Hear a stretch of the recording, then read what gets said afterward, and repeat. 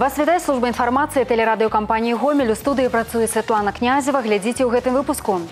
Сёння ў Беларусі дзень маці самыя цёплыя словы і пажаданні тым, хто дораць жыццё, любіць і выхоўвае. Ніколі не забудзем у рэгіёне увекавечыць подзвіг партызан. Старт ацяпляльнага сезону сёння ў гомелі пачалася падача цяпла ў будынкі сацыяльнай сферы. А зараз аб гэтым і іншым больш падрабязна. Яшчэ 22 жыхаркі гомельскай вобласці атрымалі сёння ордэны маці. Гэтая прыемная падзея адбылася падчас урачыстага прыёму жанчын ад імя гомельскага аблаўканкама. З удзельніцамі свята сустрэліся нашы карэспандэнты. Дзень маці ў Беларусі свята агульнанацыянальнае. Урэшце мамы гэта не толькі жаноцкасці дабрыня, але і выхавальніцы дзяцей, якія павінны стаць асновай будучага грамадства. А таму стварэнне ўмоў для захавання здароўя дзяцей і іх развіцця сярод дзяржаўных прыярытэтаў. У прыватнасці размова ідзе аб арганізацыі сеткі устаноў паліклінік, бальніц, садоў і школ. І такія лічбы сёння на гомельшчыне пражываюць больш як 18 тысяч шмадзетных сем'яў, у якіх выхоўваюцца звыш 60 тысяч непаўналетніх. Со стороны государства хорошая поддержка, потому что ну, как бы для многодетных есть много льгот, то есть крепкая социальная поддержка, поэтому это и жилье, и семейные капиталы, и различного рода льготы для многодетных, то есть поддержка ощутимая, я бы сказала. Крыху пазней стане вядома. У ліку 22 прадстаўніц гомельскай вобласці Ірына Ашонка ўзнагароджана ордэнам маці. Сёння ў яе сям'і шэсць дзяцей, з якіх адзін прыём. Хоць ушаноўвалі падчас прыёму не толькі маці гераінь. У зале абласнога грамадска-культурнага цэнтра 41 жанчына прадстаўніцы з усіх раёнаў вобласці. За плячыма многіх з іх не толькі выхаванне дзяцей і ўнукаў, але і вялікі працоўны стаж. Марыя Бусел з Октябрьскага раёна ўжо вела гадоўлі ўжо 46 гадоў. Что дает работа? Удовольствие. Ну и привыкла, и не могу, не могу вроде бы без работы Першая дзіцячая усмешка, першыя крокі, першы дзень спачатку ў дзіцячым садзе, а потым у школе. Першае каханне і вяселле любімага дзіцяці, у якога нараджаюцца свае дзеці. Гэта жаночае жыццё, якое, напэўна, і можна лічыць сапраўдным шчасцем. Добрыя і мілыя яны заўсёды гатовыя зрабіць жыццё дзяцей як мага больш лепшым. Прычым не толькі сваіх. У калінкавічах пачаў працаваць клуб спартыўныя малыя. Галоўная задача якога прапаганда здаровага ладу жыцця і выхаванне здаровай нацыі. Я открыла клуб спортивных активные малыши, в котором сейчас около 140 семей активно принимают участие у меня в спортивных мероприятиях, которые мы организовываем, проводим для мамочек нашего города в каждый месяц. Олег Сентеров, Максим Савин, Валерий Гапанько. Телерадиокомпания «Гомель». У дзень маці з гэтым кранальным і важным святам жанчын павіншавала і абласное аддзяленне беларускага фонду міру. На мерапрыемства запрасілі каля 40 жыхарак гомельшчыны. Яны не проста маці, а жанчыны-міратворцы, якія ўносяць асабісты ўклад у сацыяльна-эканамічнае і культурнае развіццё рэгіёна. Сярод іх кіраўніцы прадпрыемстваў, грамадскія дзеячы, працаўніцы сельскай гаспадаркі і вытворчасці з усіх раёнаў. На сваім прыкладзе яны вучаць маладое пакаленне быць добрымі і працавітымі, берагчы сямейныя каштоўнасці і захоўваць мір вакол вакол сябе. Гэтыя жанчыны лепшы доказ таго, што дзеці не перашкода працы. Галоўны ўрач будакашалёўскай раённай больницы Жанна Еўтухова, напрыклад, выгадавала троих. Дети никогда не будут являться помехой ни карьере, ни работе. Дети – это, ну, наверное, самое главное, что у нас есть. А совмещать, ну, наверное, просто. Дома – это семья. Это в первую очередь то, что касается семьи. Работа – это значит работа. Мы пришли, да, уже все, что у нас в семье, где-то э, на заднем плане, потому что есть надежный тыл, да, есть муж, который всегда прикроет, если что-то нужно. Ну и на работе, конечно, тоже поддержка со своей стороны. Матерь – это основа всему. Мы должны быть благодарны матери. Не было бы матери, не было бы нас. Но в этом году немножко мы проводим не так широко в связи с тем, что обстановка такая. Поэтому мы в этот раз пригласили в основном матерей, так называемых миротворцев, которые проводят очень большую такую миротворческую работу, воспитательную работу, чтобы, значит, в связи с тем, что обстановка немножечко такая, вот, чтобы, значит, именно еще раз поднять вопрос, и чтобы наши матери внесли миротворцы большой личный вклад именно в спокойствие, благополучие нашей Республики Беларусь. Гоноровые грамоты, кветки и теплые слова отрымала кожная гостя святочнага мерапрыемства. Памятным медалём 100 гадоў камуністычнай партыі Беларусі і БССР узнагароджана дырэктар адкрытага акцыянернага таварыства Зорка Чашэрскага раёна Галіна Трыбунах. Да віншаванняў далучыліся і супрацоўнікі дзяржаўтаінспекцыі. Сёння яны правялі акцыю добрай раніцы мамы. З 9 гадзін на плошы паўстання ў гомелі інспектары даі віншавалі жанчын-вадзіцеляў. Іх чакалі прыемныя сюрпрызы ад арганізатараў і партнёраў мерапрыемства. Кветкі, кава і сертыфікат на дастаўку ежы. Для аўталедзі гэта стала нечаканым і прыемным пачаткам дня. А вообще я на заказ еду. Ну, ну, неожиданно, на самом деле, неожиданно. Ну, хороших детей замечательных. Ну, всего самого хорошего, чтобы мужья любили, ценили, дети радовали. Спасибо, очень приятно. В госавтоинспекции проводится множество профилактических мероприятий, и вот э, акция с «Добрым утром, мамы» одна из таких, она уже, можно сказать, стала традиционной на протяжении трех лет. Мы поздравляем с самого утра мам, будущих мам, и э, кроме цветов, э, сувениров каких-то, э, приятных слов. Мы, конечно же, напоминаем им о том, что необходимо соблюдать правила дорожного движения, беречь себя и своих близких. Очень, конечно, приятно, когда э, ты с улыбкой и к тебе с улыбкой. То есть э, на наши э, поздравления, пожелания, конечно же, поздравления и пожелания всего самого хорошего получаем в ответ. Святочныя мерапрыемствы, прысвечаныя дню маці ў гомелі завяршыліся вялікім канцэртам. Больш як 500 жанчын запрасілі ў гарадскі цэнтр культуры. Добры настрой дарагім гасцям арганізатары дарылі яшчэ да пачатку канцэртнай праграмы. У вялікім фае шматлікія фотазоны, уручэнне падарункаў і вальс пад саксафон. Добрая магчымасць узгадаць гады, калі ў гарадскім парку граў аркестр, а маладыя людзі прыходзілі на танцы. Увогуле свята маці гэта ў пэўнай ступені той дзень, калі людзі ўзгадваюць сваё дзяцінства дзяцінства і маладосць, клапатлівыя матчыны рукі і яе самаахвярную любоў. У дзяцінстве мы не заўсёды цанілі гэтыя якасці, але калі самі сталі дарослымі, добра разумеем усю чуллівасць гэтага свята. Дорогие наши мамы, сестры, жены, бабушки и вообще все женщины. Сегодня прекрасный праздник Покрова Престой Богородицы и День Матери. Позвольте в этот день поздравить вас всех с этим торжественным днем, который мы отдаем свое сердце и душе, чтобы еще и еще раз вас благодарить за то, что вы есть, за то, что вы дали нам жизнь. И пусть Пресвятая Богородица покрывает вас своим честным амофором, и ангел-хранитель всегда будет с вами. Будьте счастливы, не болейте, здоровы, и многое благое вам лето. На гомельшчыне пачалася распрацоўка праекта па будаўніцтве ваенна-гістарычнага комплекса партызанская крынічка. Як чакаецца, ён будзе ўзведзены ва ўрочышчы чонкі гомельскага раёна. З першымі прапановамі азнаёміліся нашы карэспандэнты. Ідэю стварэння прысвечанага партызанскаму руху ваенна-гістарычнага комплекса агучыў старшыня аблвыканкама Геннадзь Салавей. Прычым месца для яго спецыяльна выбіраць не прыйшлося. У сярэдзіне 80-х прыкладна ў 5 кіламетрах ад гомеля на месцы партызанскай стаянкі усталявалі стэлу, каля якой штогод разам з сучаснымі пакаленнямі збіраліся былыя партызаны і падпольшчыкі. Архітэктары інстытута гомель грамадзян праект тут бывалі не аднойчы, а пасля атрымання задання прыехалі зноў. Неабходна было не проста паказаць, што такое сапраўдны партызанскі лагер і яшчэ нагадаць аб гераічным мінулым беларускага народа. Новы партызанскі комплекс павінен адпавядаць сучасным патрабаванням да музейных устаноў і быць цікавым для прадстаўнікоў розных пакаленняў. На сёння сярод запланаванага на партызанскім мемарыяле выставачная зала, каплічка, каля двух дзясяткаў землянак, якія будуць аўтэнтычнымі ваенным аналагам, а таксама склад зброі, канюшня і зброевая майстэрня. Это вообще материал для дальнейшего дальнейшего обсуждения. То есть это отправная точка, да, то есть мы э,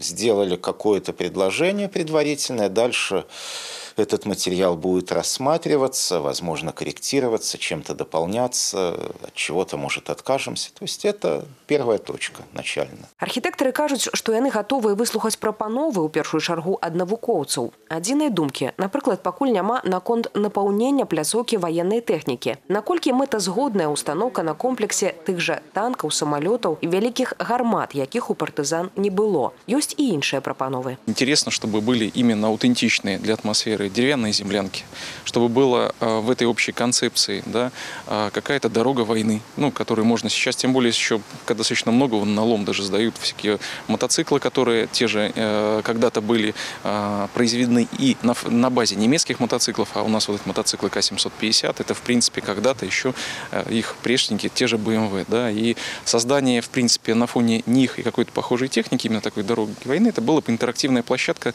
фотозона определенная, которая давала бы на фоне там леса атмосферу. И для меня лично, опять же, как и для белоруса, очень памятно это сгоревшие деревни. Можно было бы сделать окраину, скажем, деревни, да, где остались только печи, фундаменты, У апошні час на Гомельшчыне робіцца шмат для ўвекавечвання гістарычнай памяці і ўмацавання сувязі пакаленняў. Сярод найбольш значных мемарыялы ў Лоеве, адкуль пачалося паўнамасштабнае вызваленне Беларусі і Але, якую ў 1944 годзе спалілі карнікі. Сюды ж можна дадаць адкрыты ў Гомелі помнік братам Лізюковым. Партызанскі комплекс не проста дапоўніць гэты спіс, а стане яшчэ адной візітнай карткай рэгіёна. Партизанское движение в Беларуси следует объявить национальным достоянием нашей республики. Следует уберечь его от всяческих э, попыток дискредитировать это движение. И более того, выскажу, может быть, смелую мысль, но тем не менее не могу об этом не сказать. Быть может, имеет смысл на, на уровне Конституции закрепить бережное отношение к памяти о Великой Победе и к партизанскому движению в Беларуси, которое внесло исключительный вклад в эту победу. Олег Сенцюров, Ольга Коновалова, Валерий Гапанько, телерадиокомпания «Гомель». У гомелі сёння пачалі ўключаць ацяпленне. Па распараджэнні гарадскога выканаўчага камітэта цяпло падаецца ў дзіцячыя сады, школы, гімназіі, ліцэі, установы аховы здароўя, музеі, архівы, бібліятэкі і гасцініцы. Як паведамляе гомель энерга, па неабходнасці будуць уключаць ацяпленне і ў будынках іншых сфер і жылфонд. Гарадскія і абласныя ўлады прымуць адпаведныя дакументы. Па нарматывах ацяпляльны перыяд пачынаецца, калі на працягу 5 дзён сярэднесутачная тэмпература паветра ніжэйшая за плюс 8 градусаў.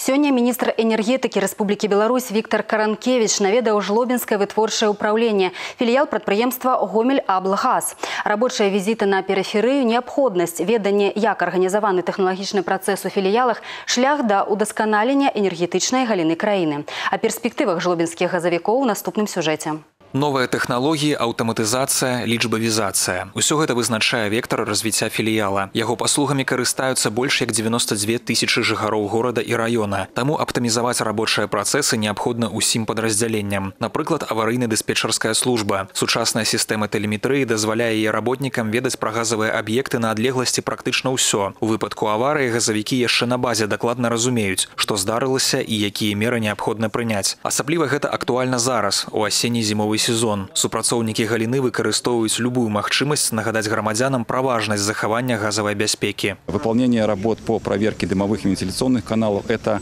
безопасность личная, семейная, окружающих. И от этого очень много зависит э, в жизни как человека, так и всей отрасли.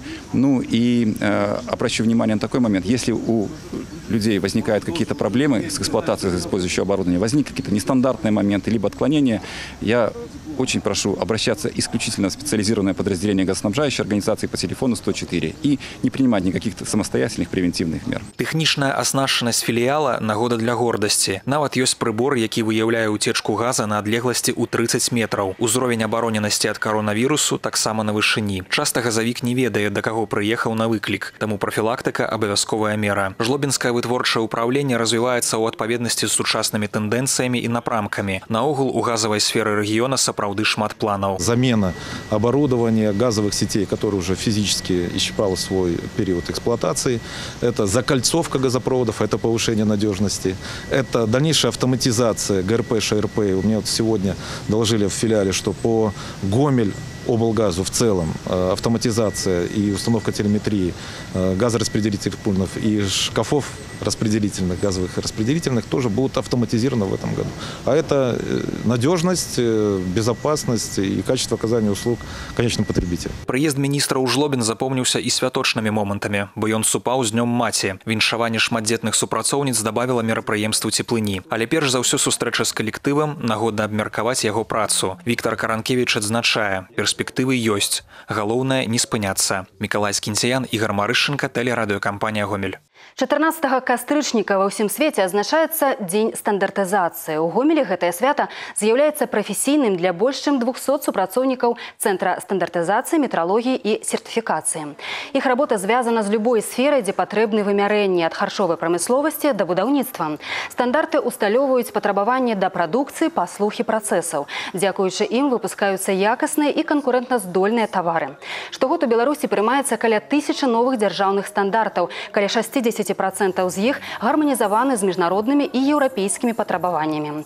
Па традыцыі за добрасумленную працу і высокі прафесіяналізм 35 спецыялістаў узнагародзілі граматамі і падзякамі ад гомельскіх абласнога і гарадскога выканаўчых камітэтаў, савета дэпутатаў і прафсаюзаў. Работаю я э, в Гомельском ЦСМ уже почти 13 лет. Я изначально работаю в отделе систем менеджмента. Отдел занимается сертификацией систем менеджмента, такие как система менеджмента качества, система управления охраной труда, э, система энергетического менеджмента. У нас э, в коллективе э, есть ведущие специалисты, есть специалисты первой и второй категории, специалисты все высококвалифицированные, э, все профессионалы с опытом работы на предприятиях и с опытом работы в Гомельском ЦСМ. Не забываюць у арганізацыі і аб ветэранах да свята каля 100 чалавек атрымалі віншаванне і грашовую падтрымку. Кожны год сусветны дзень стандартызацыі праходзіць пад пэўным дэвізам. Сёлета ён гучыць як стандарты для абароны планеты.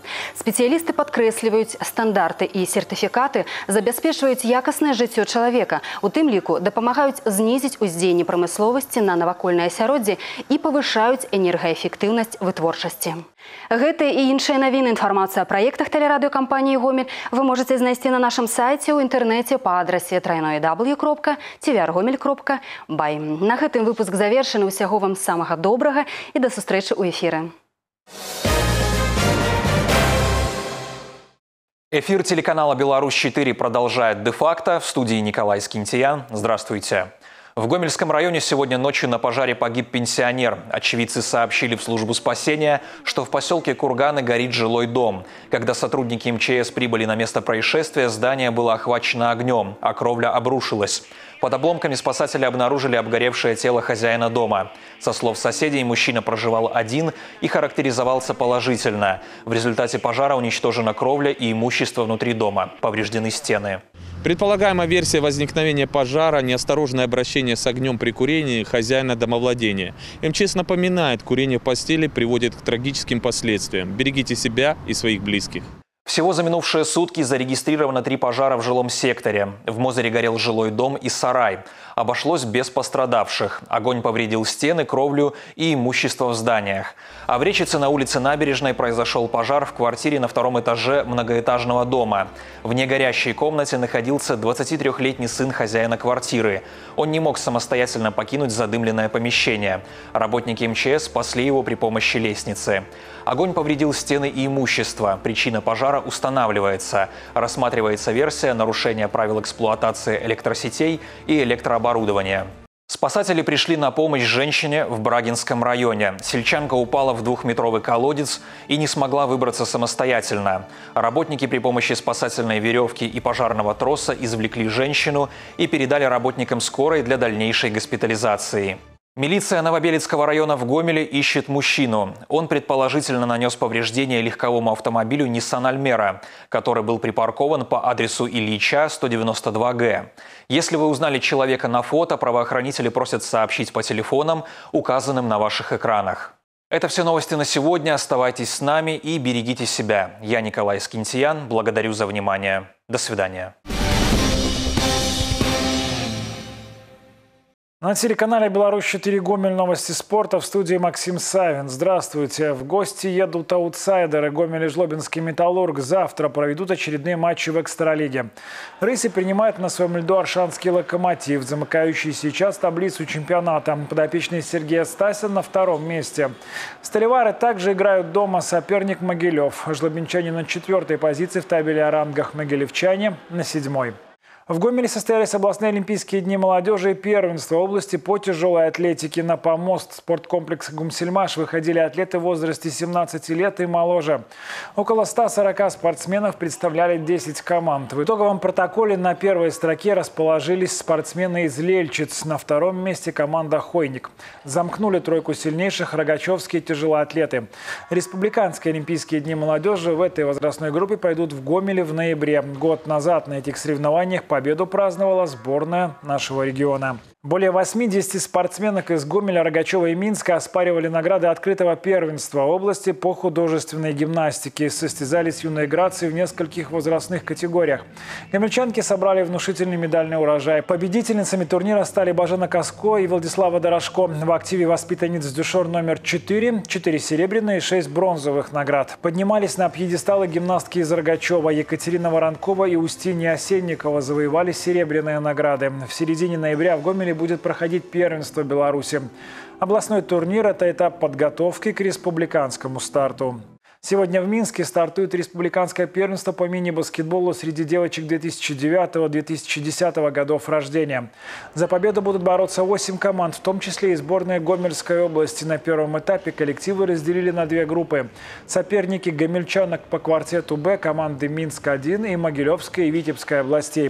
Игры в группах будут проходить вплоть до пятницы. В субботу и воскресенье – плей-офф. Определена символическая сборная шестого тура чемпионата Беларуси по мини-футболу. Место в воротах занял голкипер Гомельского ВРЗ Юрий Дегтяренко. В том числе благодаря его удачной игре на последнем рубеже вагоностроители смогли удержать минимальное преимущество в домашней игре против Минска. ВРЗ победил 1-0. Лучшим игроком шестого тура признан Юрий Рабыка из Витена. В победном матче против Светлогорского ЦКК на его счету хет-трик и результативная передача. На этом пока все. С новостями спорта вас знакомил Максим Савин. Оставайтесь на Беларусь 4.